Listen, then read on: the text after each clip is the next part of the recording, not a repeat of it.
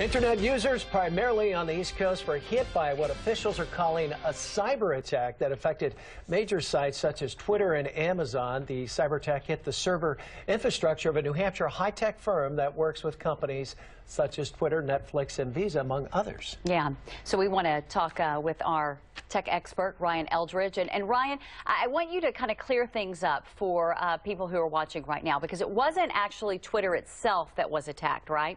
Correct. Uh, about 7:10 this morning on East Coast time, uh, there was an attack on a on a okay. DNS server uh, called a DYN, and and essentially what what happened was. Uh, the DNS server is what is used to resolve IP addresses versus what we're used to typing in, like a domain name. So it's it's kind of like the uh, a yellow pages or a white pages for the internet. We type in www.twitter.com, we see Twitter, and we think, oh, everything's working great. Well, in the back end, it's actually using an IP address, you know, 205.268. whatever. And so when we type that in, when we type in Twitter, it has to go out to one of these DNS servers, and then the DNS server actually directs us to the correct place to go. And if these DNS servers get attacked, then all of a sudden we can't resolve and it looks like we just get a spinning wheel, and we're no longer able to get to the websites we're, we're looking to get to. How easy is it to do it, and uh, have we seen this before? It is. It, we have seen this before. In 2014, uh, the PlayStation Network as well as the Xbox Live Network were taken down by an attack very similar to this. And in 2015, there was a, a, um, a virus that was sent out called the XOD virus that ended up setting up a bot network that was able to be used to take down any server or any website traffic or any web server uh, on the internet. Here's the interesting thing is uh, this is actually being reported as the first time that internet uh, connected devices are being used. About a week ago, Homeland Security reported that there was some code that was being released on the internet that would allow uh, thermostats, uh, televisions, any internet connected device to be able to be infected, and then those devices are being used to attack these servers. And the way that denial of service attacks is essentially they're sending a packet of information to a server, and then the server tries to respond to that packet of information to say, yeah, here, here you go, here's that thing that you wanted.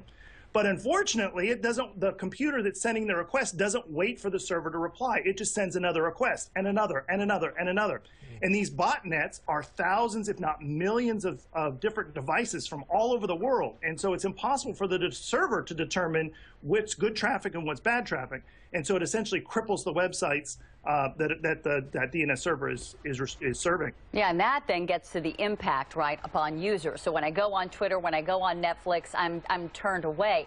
Is there any yes. at all worry about my personal information if I go on, if I use Twitter or Netflix, that it was compromised in all of this? No, there's there's don't worry about that. Mm. But there is something that we can all do. Is this is like leaving your, your car in the driveway with the keys in, mm. in the ignition. Is is somebody's hijacking your computer or the things that are connected to the internet in your, in our homes in order to facilitate these attacks? And this isn't the beginning. This isn't even near the end. This is going to get worse. And so the way that we can kind of solve this for ourselves is keep our devices updated, make sure that we're running some sort of antivirus, uh, uh, like a Webroot or something on your machine. You can also uh, get a little box. There's a one uh, company called Bitdefender that makes a Bitdefender box that essentially uh, protects all of the traffic on your network and doesn't allow anything out that you don't authorize. And that would virtually stop these kinds of attacks if, hmm. if us as regular consumers were just a little more protected and a little more aware. Can they catch whoever did this? And what's the end game other than to make uh, make all of us miserable?